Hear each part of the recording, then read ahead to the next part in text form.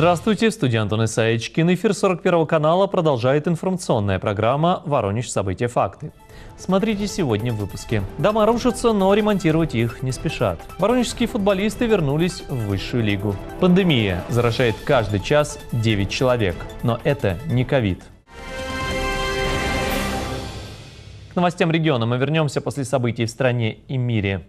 США. Президент США Джо Байден заявил, что видит признаки экономического прогресса после того, как недавние показатели роста усилили опасения рецессии.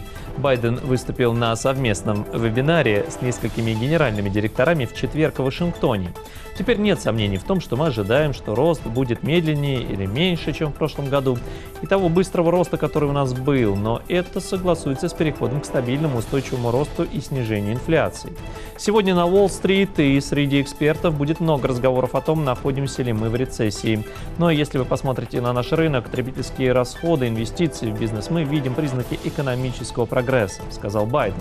Рано утром в четверг Бюро экономического анализа сообщило, что воловой внутренний продукт страны упал почти на 1% с апреля по июнь. Экономика США сокращается второй квартал подряд, что соответствует критериям рецессии. Аргентина. Тысячи людей прошли маршем в Буэнос-Айресе в четверг в знак протеста и требуют мер в условиях глубокого экономического кризиса в стране. На кадрах видно, как демонстранты с плакатами и транспарантами маршируют Касса Рассада, президентскому дворцу. Мы предполагаем, что нам нужно призвать к досрочным выборам, а также к созыву учредительного собрания, чтобы провести быстрые дебаты и добиться тотальных глобальных перемен, сказал Вильма Рипол, лидер социалистического рабочего движения. Согласно местным сообщениям, министр экономики Сильвина Батакис была отстранена от должности всего после 24 дней пребывания в должности. Латиноамериканская страна страдает от инфляции, превышающей 60%, и борется с огромным государственным долгом. Тайвань. Десятки тайваньских военнослужащих, в том числе и резервистов, приняли участие в учениях с боевой стрельбой в провинции Пинтун в четверг на четвертый день ежегодных военных учений. Учения представляли собой высадку десанта на берег, имитирующий иностранное вторжение со стороны моря. Можно было увидеть, как десантные машины стреляют боевыми патронами, штурмуя пляжи вместе с отрядами морской пехоты. Военные учения проводятся каждый год с 1984 года и направлены на укрепление обороны Тайваня от сил вторжения. В этом году мероприятие является более значительным в свете растущей напряженности в отношениях с Китаем. Китай. Представитель Министерства иностранных дел Китая Джао Лядзянь заявил, что Китай много раз ясно давал понять США, что он решительно выступает против запланированного визита на Тайвань спикера Палаты представителей США Нэнси Пелоси выступая на ежедневном брифинге в Пекине в четверг. Если США будут настаивать на том, чтобы идти своим путем, китайские военные никогда не будут э, сидеть сложа руки и предпримут серьезные меры, чтобы помешать любым попыткам внешних сил вмешаться и отделить Тайвань. Китайцы делают то, что говорят, сказал он. В среду 27 июля конгрессмен-республиканец Майкл Маккол из Комитета по иностранным делам заявил, что Нэнси Пелоси пригласила высокопоставленных законодателей присоединиться к ней в поездке на Тайвань. Перу. Противники и сторонники президента Педро Кастильо собрались у здания Конгресса в Лиме в четверг. На проспекте Абанкар можно увидеть протестующих за и против Педро Кастильо, одетых в футболки сборной Перу, а также с перуанскими флагами. Крики Кастильо «Вон! Вон!» Сотни протестующих против Кастильо требуют отставки президента. Тем временем сторонники президента собрались рядом с оппонентами, чтобы выразить ему свою поддержку. Ливия. В четверг жители города Сирт вернулись, чтобы самостоятельно расчистить завалы, несмотря на то, что сменявшие друг друга правительства обещали разобраться в процессе восстановления города. Сегодня у нас 3000 семей живут под открытым небом с 2016 года. Эта проблема не решена, несмотря на смену многих правительств, сказал мэр муниципалитета Сирт Мухтар Халифа Аль-Мадани. Несмотря на ущерб, нанесенный Сирту, в результате гражданской войны жители решили сами начать ремонтные работы. Мы вернулись и живем здесь, вода есть, и мы запускаем генераторы для освещения. Мы живем здесь со своими семьями, потому что больше не можем позволить себе платить за аренду, сказал местный житель Мохаммед Ибрагим.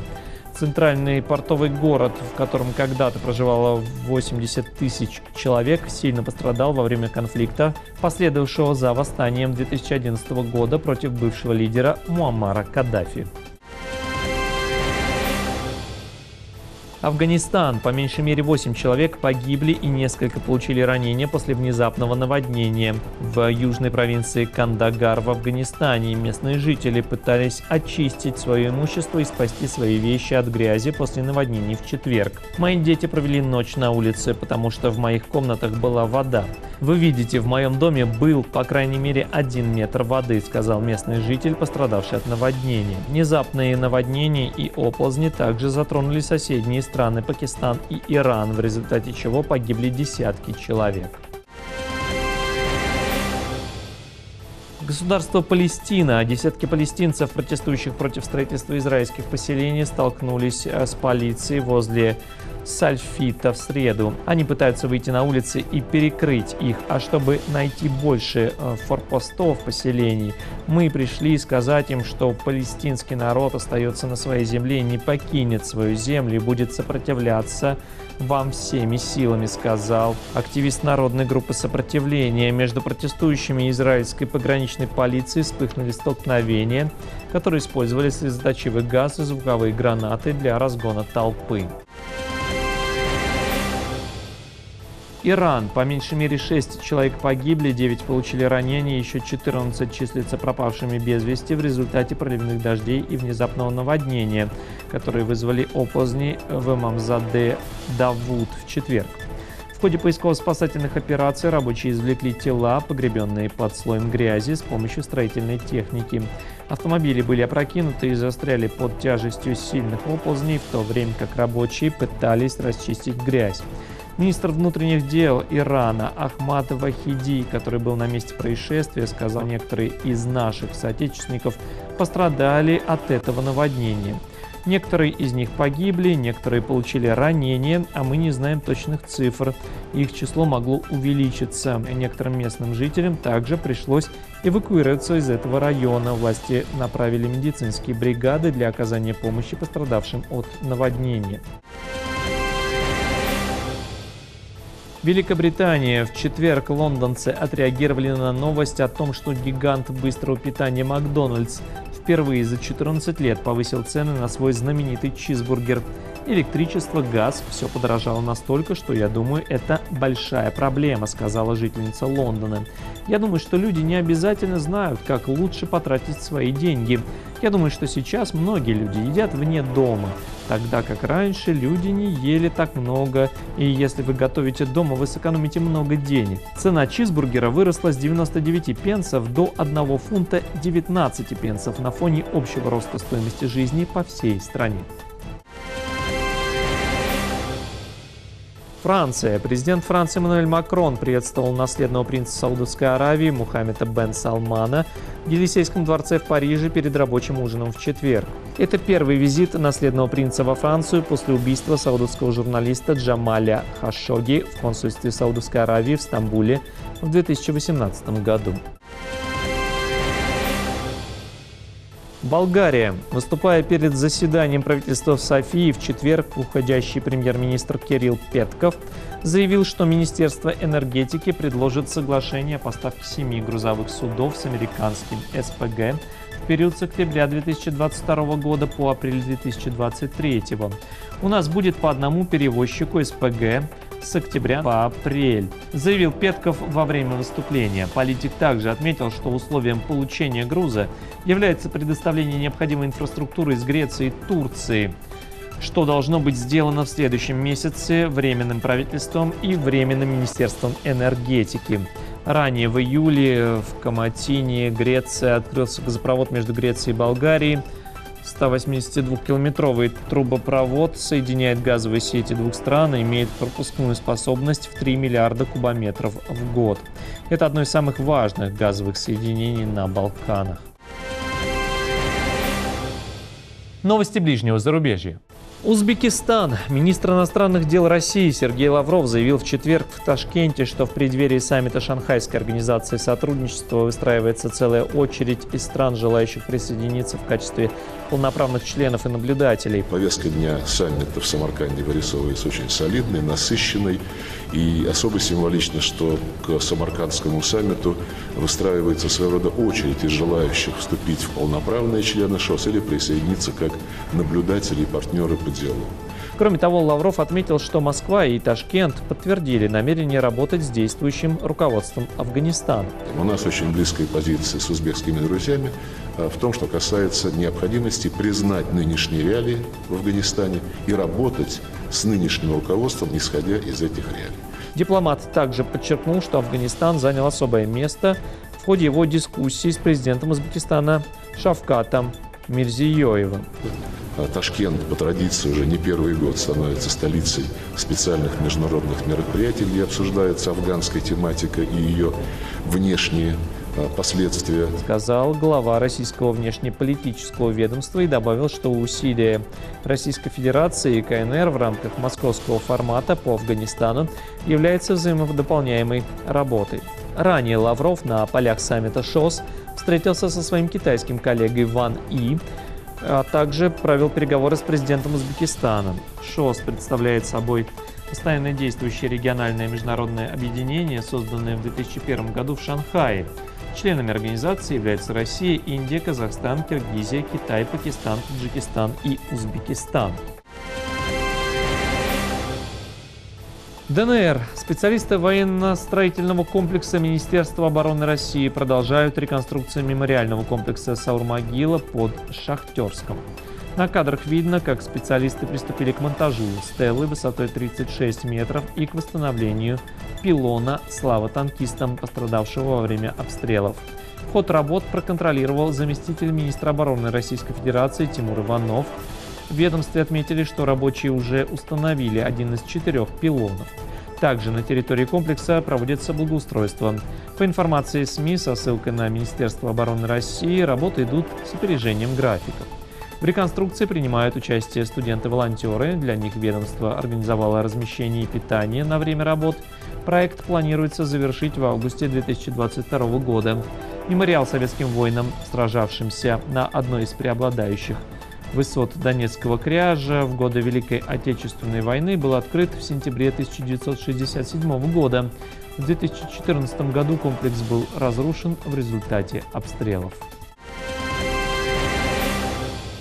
Новости Российской Федерации.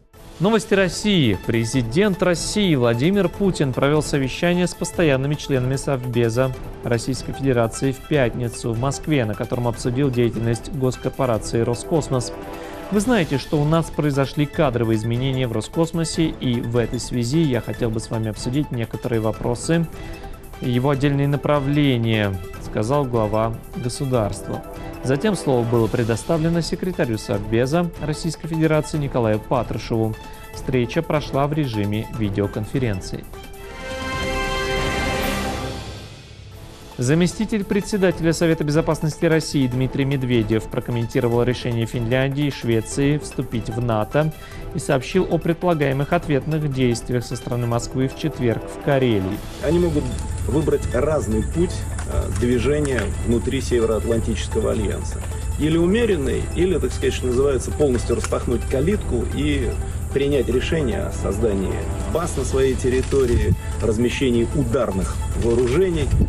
Это зависит от самих стран. Заявил зампредседателя Совета Безопасности по итогам совещания в Карелии, где были рассмотрены вопросы безопасности нашей страны на северо-западных рубежах. Медведев также подчеркнул, что Москва не оставит без ответа решение Хельсинки и Стокгольма вступить в Североатлантический альянс. Совершенно очевидно, что в результате этого решения вот та самая известная линия по оси Кеканина, если говорить о Финляндии, да и отношения с нейтральной Швецией, э, подлежат пересмотру. Добавил политик. По словам Медведева, вступление новых стран в НАТО усложнит ситуацию с обеспечением безопасности на Балтике. Очевидно, что решение о вступлении Финляндии и Швеции в НАТО не укрепляет безопасность региона, а наоборот осложняет ситуацию с обеспечением безопасности для всех.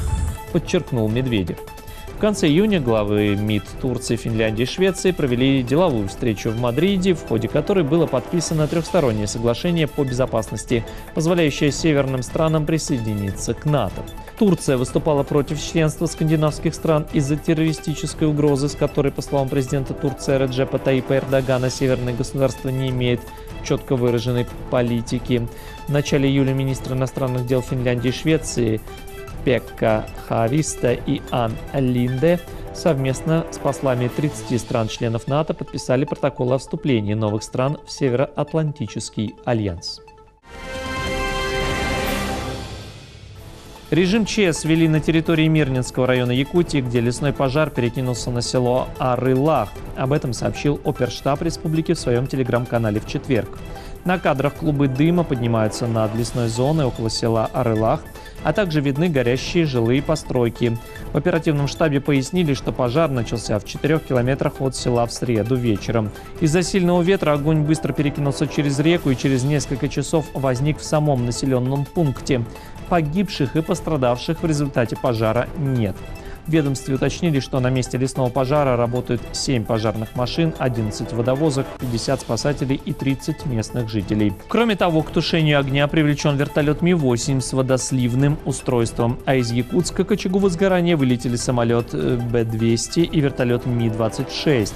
По данным ГУ МЧС по республике Саха, благодаря оперативным и слаженным действиям пожарно-спасательным подразделениям удалось локализовать пожар в кратчайшие сроки, не допустить распространения огня на соседние строения и в дальнейшем ликвидировать. По информации ведомства, всего на территории республики действует 101 лесной пожар на площади более 109 гектаров. Всего на тушение лесных пожаров привлечены 1044 человека, из них 720 сотрудников парашютно-десантной пожарной службы, 192 сотрудника лесопожарной службы, 47 сотрудников ГПС, 85 добровольцев из числа местного населения. Задействовано 82 единицы техники, сообщили в пресс-службе МЧС. К новостям нашего региона. За последние сутки в Воронежской области выявлено 165 новых случаев заражения коронавирусом. О ситуации с заболеваемостью коронавирусной инфекцией в России и мире в нашем обзоре. По данным Всероссийского штаба, 29 июля в России выявлено 11 432 новых случая коронавируса. Умерло 39 человек. Всего с начала пандемии зафиксировано 382 352 летальных исхода. Ситуация с заболеваемостью COVID-19 в регионах Черноземья. В Воронежской области 198 новых заражений коронавирусом. Липецкой 38, Курской 43, Белгородской 33, Тамбовской 28. По данным сайта Стоп Коронавирус РФ, за последние сутки в Воронежской области умер один человек. В Москве 11, в Санкт-Петербурге 7, в Самарской области 2.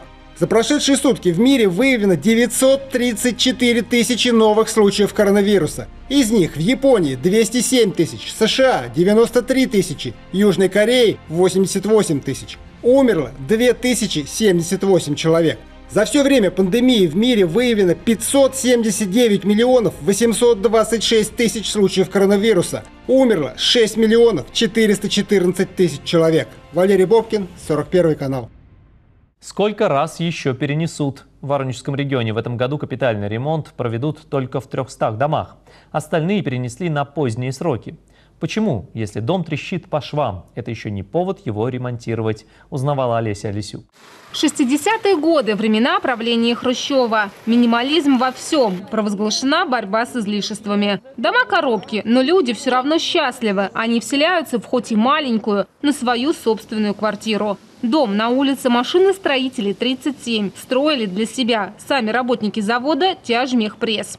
Как правило, при возведении жилья таким способом экономили на всем. За 60 лет ремонт в 37-м доме не проводился ни разу. Его переносили уже трижды. Красивая окантовка из кирпича, наверное, была даже роскошью по тому времени. Спустя годы скромное украшение фасада угрожает, если не жизни, то как минимум здоровью людей. Когда кирпичи начали вываливаться, грохот был во весь двор. Сначала даже не поняли, потом даже козырек весь погнулся. Поэтому мы были вынуждены куда обратиться? В жилищную инспекцию. Мама выходила из подъезда, на нее упал кирпич вот такой. И ей по голове трахнул этим кирпичом. Ну хорошо, что обошлось так более-менее спокойно еще. В Воронежской области капитальный ремонт многих домов переносили на более поздние сроки. В этом году отремонтируют только 300 домов в регионе. Видимо, это связано с ростом цен на стройматериалы. В региональную программу капитального ремонта 2014-2044 годов включены порядка 9400 многоквартирных домов области. Многим домам, особенно довоенной и послевоенной постройки, требуется немедленный ремонт. Косметическим тут не обойтись. Здание может полностью прийти в негодность. Будет собственники, вы ремонтируете подъезды. Вот что нам отвечают. Вы видите, листы э, шифера сползли. Они приехали, чуть заштукатурили, а листы, что сползают, и висят они, не закрепленные, просто сползут в один прекрасный момент на голову опять кому-нибудь. У нас внизу люди ходят. Эти замазывания фасада управляющая компания выполнила после визита Государственной жилищной инспекции. Надзорное ведомство выявило, что компания незаконно бездействует, нарушает права и законные интересы собственников помещения. Если выявленные предписания не устранят, то обслуживающей организации грозит штраф до 300 тысяч рублей или дисквалификация на срок до трех лет. Устранить нарушение управляющие необходимо до 1 августа. Осталось всего три дня. И пока работы, хотя бы по косметическому ремонту, не начаты. Сосульки, особенно когда тает, то у нас тут залитие. Видите, что в подъезде. Все течет? Все течет. Разрушение полное. Но не боитесь, что когда-нибудь обрушится? Боимся. Боимся уже давно и ждем. Думаем, наш дом, ну хоть его или в божеский вид надо при, э, как-то вот приводить, или сносить его, потому что ужас вот просто охватывает. Косметического ремонта во втором подъезде не делали никогда. Стекол в рамах нет. Сам дом давно получил статус ветхого жилья. Жители дома на проведение ремонтных работ уже собрали полмиллиона рублей. В 2022 году тут хотели заменить систему отопления, холодной воды, электрики, отремонтировать крышу, фасад и фундамент, но решили, что можно это сделать и как-нибудь в другой раз. Управляющая компания на запрос нашего телеканала «Почему дом в таком состоянии?» ответила, что восстанавливают штукатурный слой в доме время от времени, но стенам это не поможет. Когда человек серьезно болен и умирает, можно припудрить ему лицо и нарисовать румянец, но этим мы его не спасем, от этого ему не станет легче. Ежемесячной платы по первой строке в квитанции, по мнению УК, недостаточно. В месяц со всего дома собирают 8 тысяч рублей. Это слишком мизерная сумма, считает УК-мастер, для проведения ремонтных работ. На днях было проведено обследование дома проектной организации. Оно показало, что ремонт необходим в ближайшее время. Износ фасада 60%. Все результаты будут переданы в фонд капитального ремонта. На очереди таких домов много, говорят в ведомстве. И скорых восстановительных работ ждать не следует. Прямо говорят в проектной организации. Видимо, только несчастный случай может ускорить начало долгожданного ремонта в 37-м доме. Олеся Лисюк, Дмитрий Хлебный, 41 канал. Есть первый миллион тонн зерна. Губернатор Воронежской области поздравил наших аграриев с достижением этой важной отметки. Поздравляю каждого, кто трудится в поле на Воронежской земле. Наши аграрии собрали первый миллион тонн зерна в этом году. Благодаря их труду регион по-прежнему остается в лидерах и с каждым годом усиливает свои позиции. Такими словами Александр Гусев в своем телеграм-канале поздравил работников сельхозпредприятий, занятых на уборке урожая.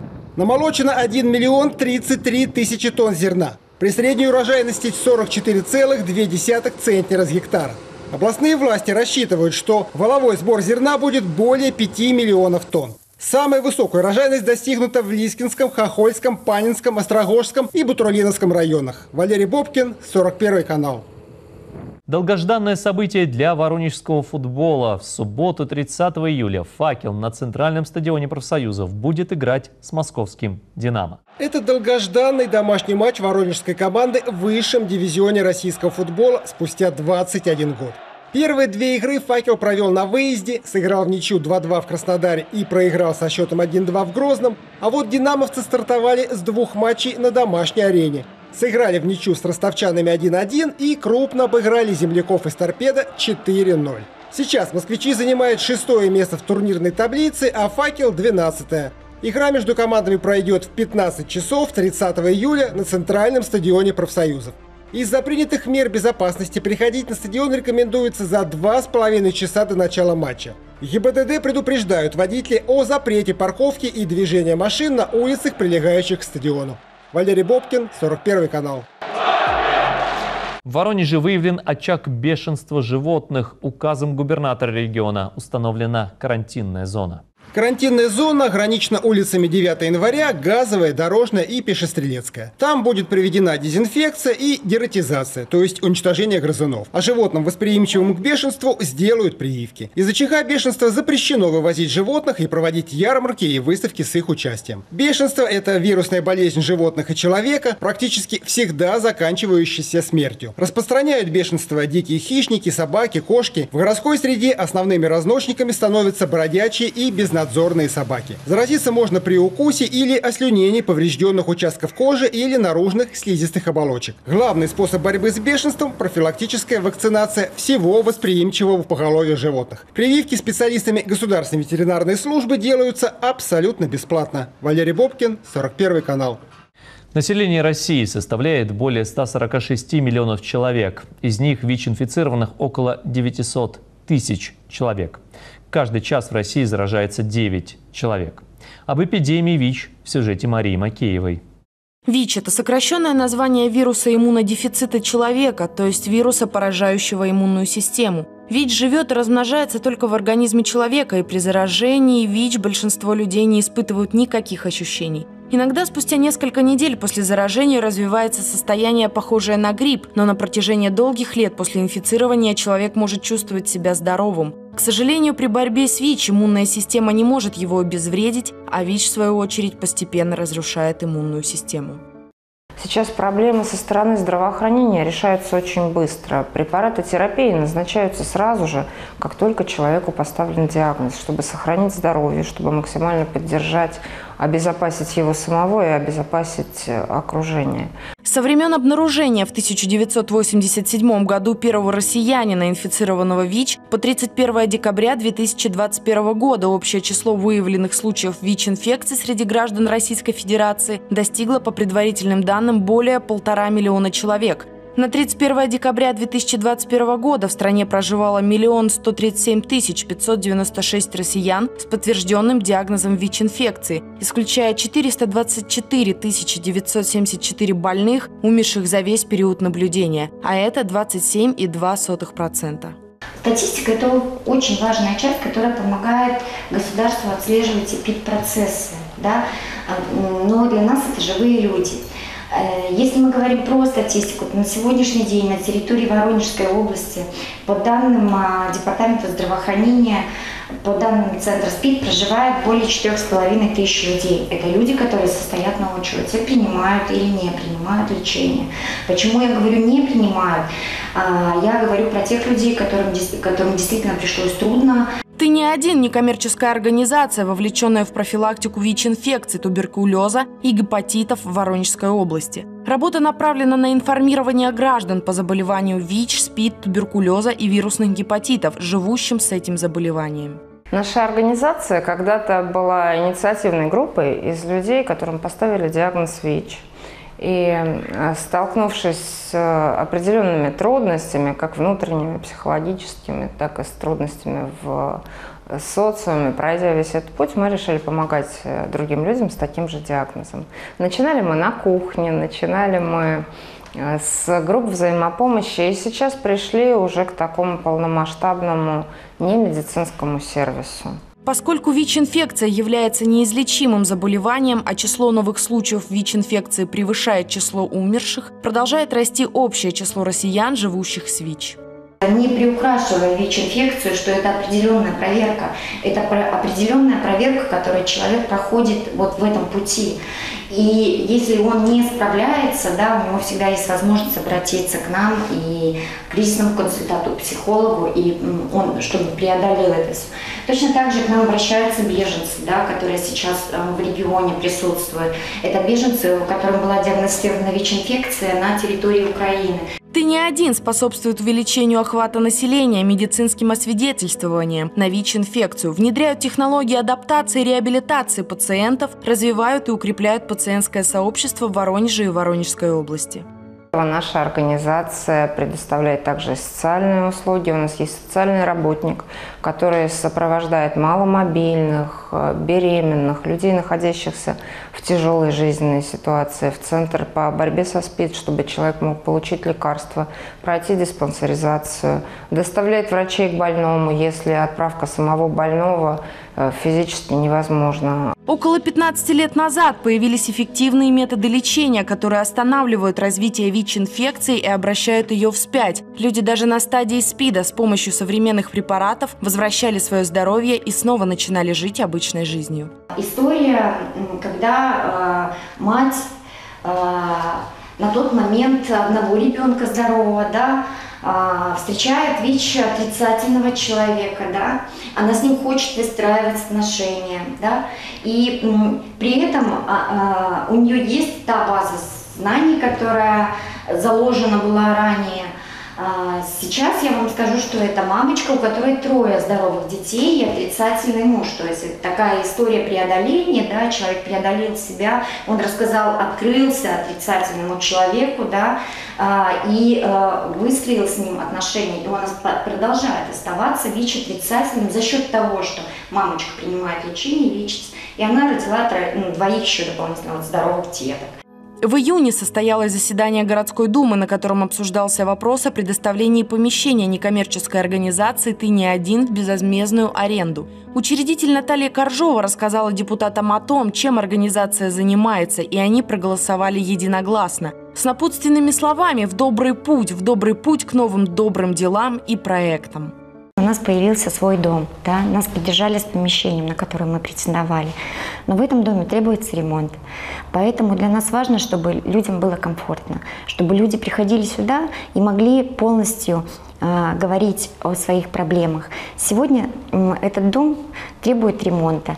Э, это очень хорошее помещение, да, которое по вложениям не будет съедать массу средств, но мы просим вашей поддержки для того, чтобы дом заиграл и засветился новыми красками. Многие ученые работают над созданием новых методов лечения ВИЧ-инфекции. Вполне возможно, что через несколько лет появятся новые, более совершенные и радикальные препараты, которые смогут полностью избавить человека от вируса. Вирус иммунодефицита человека не приговор и не божья кара. Это просто болезнь, лечение которой, мы надеемся, будет найдено. История наших героев показывает нам, что они могут жить полноценной жизнью, несмотря ни на что. Мария Макеева, Сергей Трифонов, 41 канал. Это все на сегодня. Ждем от вас обратной связи. Звоните нам по телефону 206 9406. Пишите по электронному адресу, который видите на экране. Также ждем вас на официальном сайте 41 канала и в наших группах в социальных сетях. Смотрите «Воронеж. События. Факты» в телевизионном эфире и в кабельных сетях в 0 часов, в 3, 7, 9, 12, 15, 19.30 и 21.00 по московскому времени. Также смотрите онлайн-трансляцию прямого эфира на официальном сайте 41 канала и подписывайтесь на наш YouTube-канал. А я с вами прощаюсь. Далее эфир продолжит прогноз погоды в мире и в Воронежской области.